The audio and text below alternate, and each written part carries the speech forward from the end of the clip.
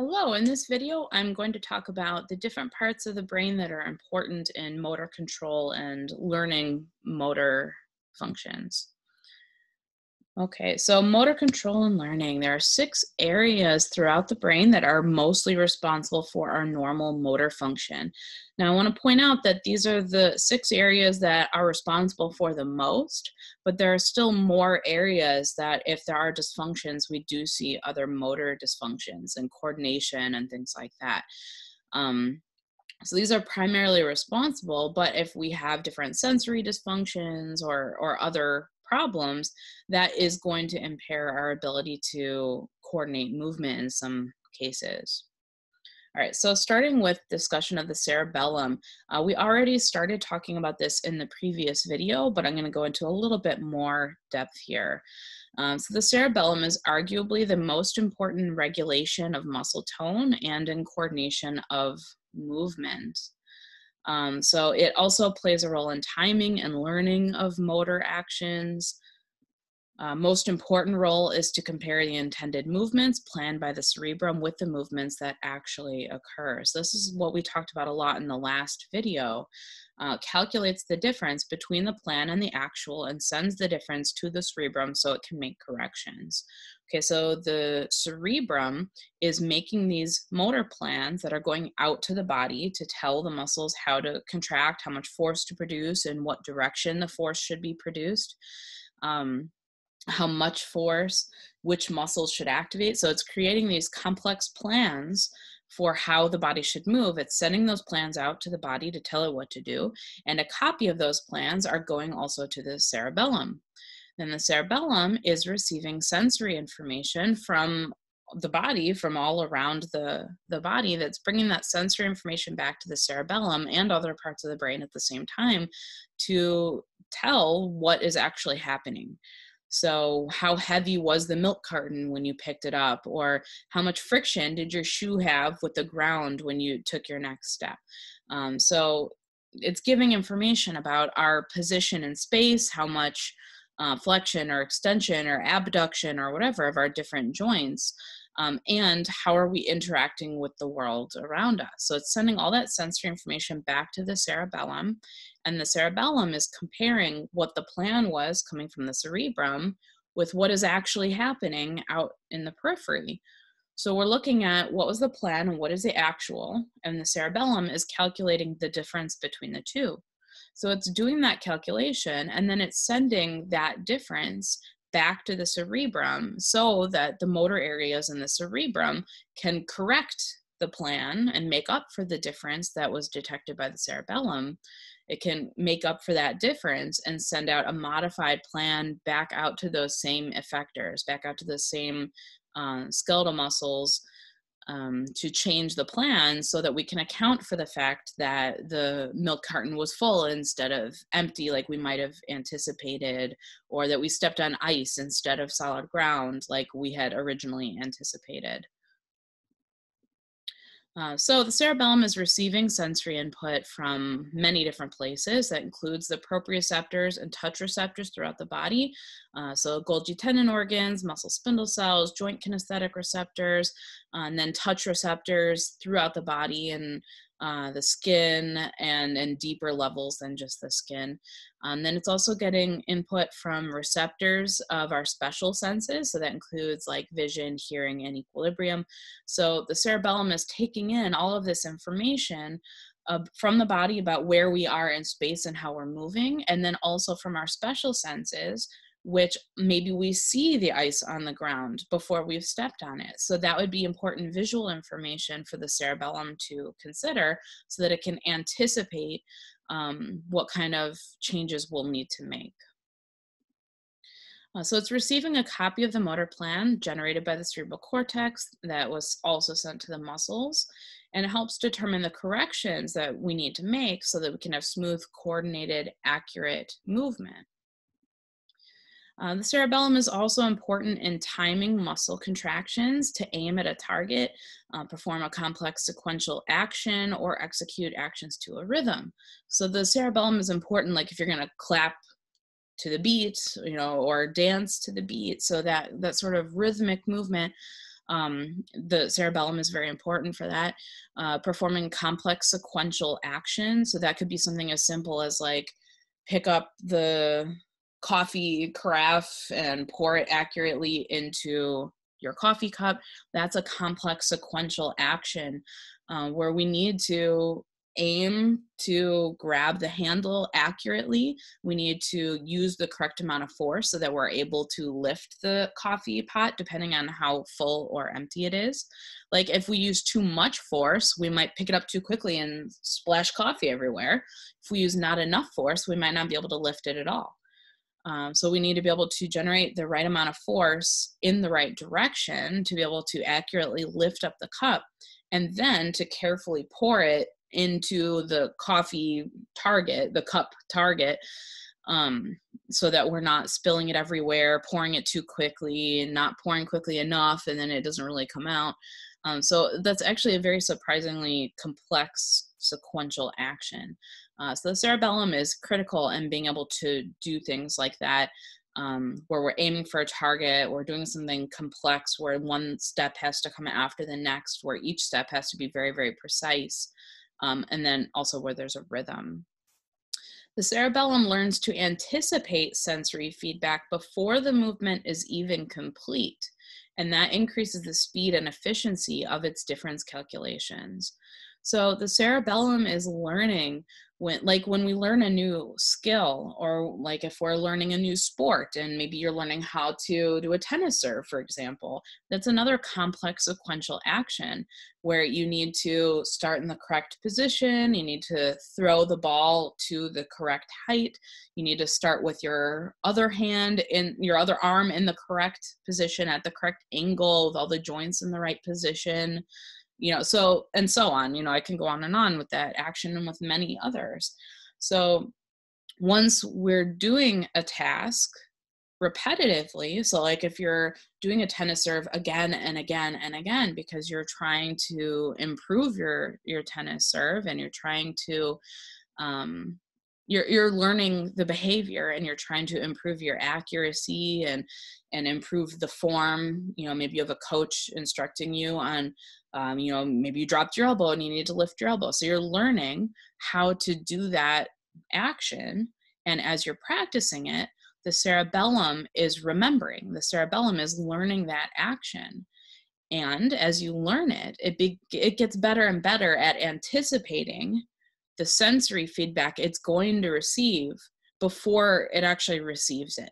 So when you've done that tennis serve a thousand times, then your cerebellum is going to start to anticipate like if you already know you didn't throw the ball quite high enough. The cerebellum because of the visual information your cerebellum is already going to realize that um, and maybe you let the ball fall and start again.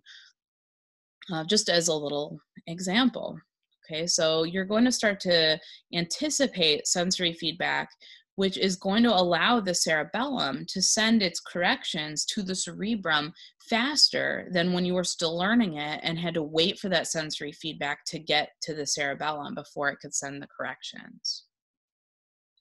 So cerebellar impairment, if we have a damaged cerebellum, uh, would cause abnormally low muscle tone, uncoordinated or erratic movements, difficulty walking heel to toe, uh, coordination difficulties, and slurred speech.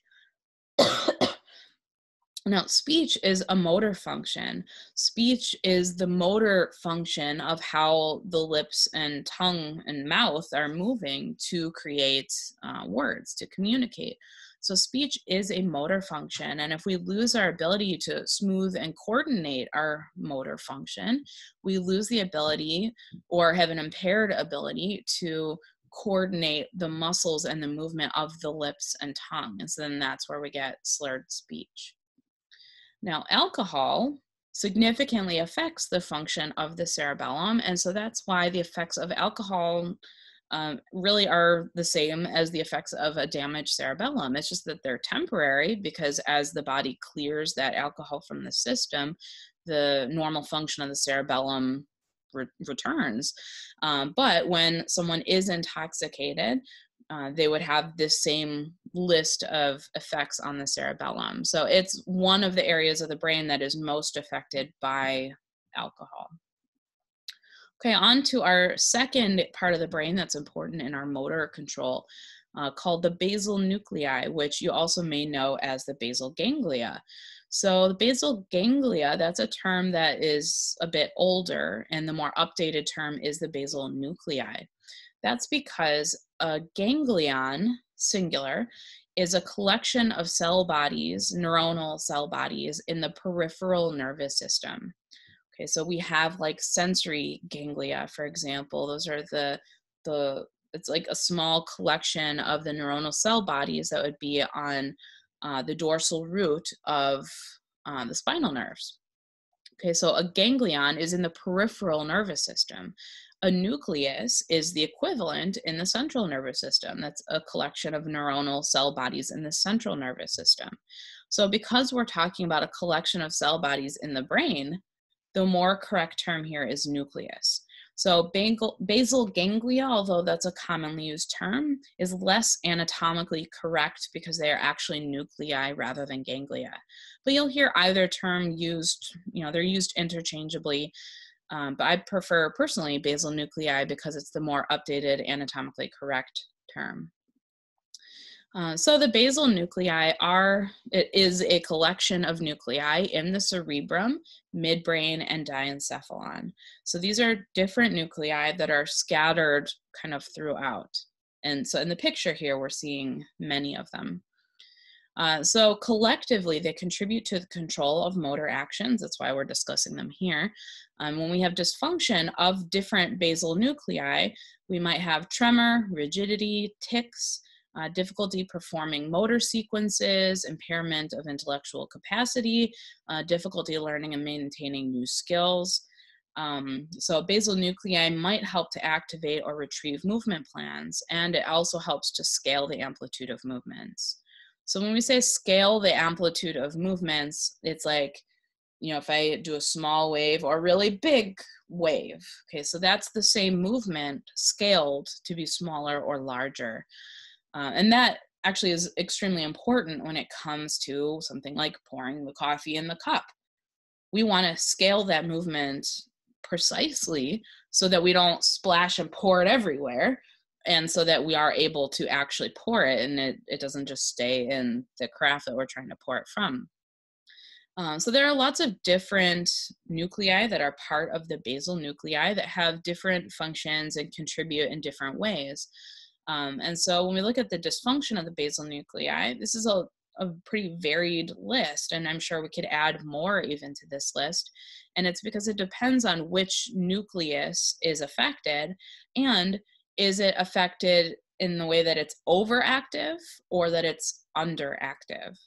Um, so there are lots of different disorders that are caused by problems with the basal nuclei that would include like Parkinson's, uh, Tourette's, um, Huntington's disease, obsessive compulsive disorder, uh, and many more. Those are just some examples.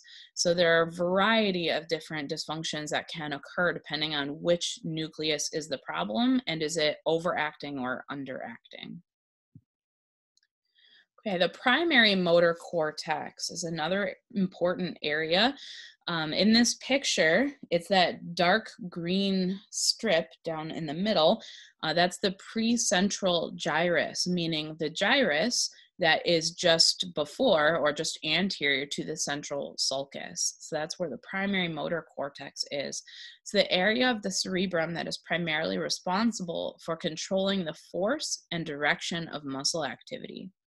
So it is primarily responsible for generating the motor plan that is going to go out to tell the body or the muscles of the body how much force to produce and in what relationship to others so that we have the right um, force vector essentially of all of the muscles that are acting on a joint. We want the right resultant force vector because that resultant force vector is what is going to cause movement in that direction.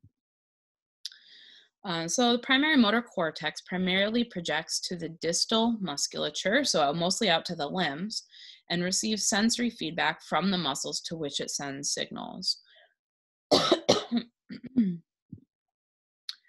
Okay, the premotor cortex, we see in the picture here, uh, it's anterior or before uh, the primary motor cortex. So it's another area of the cerebrum, plays a role in voluntary movements that depend on sensory stimuli, especially vision. So it's especially important in um, our physical motor response to sensory stimulation. So, like when you visually see something, like if you see something coming at you, we will reflexively duck out of the way or you know catch the ball or whatever it is. We reflexively have a voluntary motor response to the thing that we see. Um, and so the premotor cortex is largely responsible for that it also plays a role in preparing the body for forthcoming movements. Uh, so it activates a lot of our stabilizing and postural muscles. Um, so, like if the primary motor cortex it might be acting on the more distal musculature, like in the limbs, and at the same time, the premotor cortex is going to act on the more proximal musculature that's going to help maintain the posture or the position of the body so that we can engage in the the plan that the primary motor cortex is coming up with. Then we have the supplementary motor area. That's another area of the cerebrum and plays a role in planning voluntary movements as opposed to movements that are provoked by sensory stimuli. Okay, so whereas the premotor cortex, a lot of its action is in response to uh, sensory stimuli, the supplementary motor area is not in response to sensory stimuli. Uh, it's involved in high level planning and production of complex movement and receives input from the basal ganglia. So it's responsible for a lot more of the higher level planning of action. So, like when I'm trying to learn my uh, tennis serve, like the example I gave earlier, uh, the supplementary motor area is going to contribute a lot in trying to plan and coordinate this much more complex action. Then the parietal cortex uh, has lots of different areas throughout that lobe, uh, or both lobes, I should say, uh, that contribute important spatial information for an action. Um, so some areas of the parietal cortex are important for spatial attention and help produce spatially relevant behavioral intentions. So some actions are not very spatially important. So like if I'm going to wave, that's not very spatially important. I don't have to do it in a very precise direction or um, in a very precise plane. Like I can wave all sorts of different ways in the space in front of me. And spatially, it's not very important unless I'm in danger of like whacking a cup of coffee off the table or something like that. So, not very spatially relevant, but others are very spatially relevant, like my example of pouring the coffee into the cup. So in that case, extremely spatially relevant because if I miss by a little, I'm going to pour coffee all over the table. Or hammering a nail, very spatially relevant because if you're not hitting the precise target, you're not going to hammer the nail in. Uh, so damage to this area would make it difficult to complete sequences of event to events to perform a behavior like making a cup of coffee or hammering a nail. Okay, so it's important in sequencing and it's important in spatial awareness of where you're completing that action in space. Okay, that is all I have for you here. Thanks for watching.